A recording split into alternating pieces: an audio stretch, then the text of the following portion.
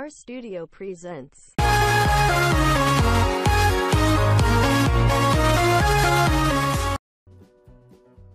Bella Thorne looks gorgeous while attending a Venice Film Festival movie premiere for the first time.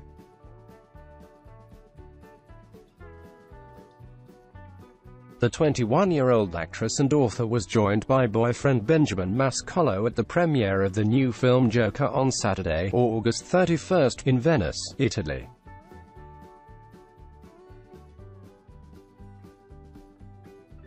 Venice Film Festival with Babe.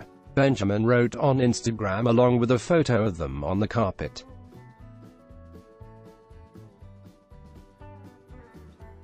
Bella is wearing a Philosophy di Lorenzo Serafini dress.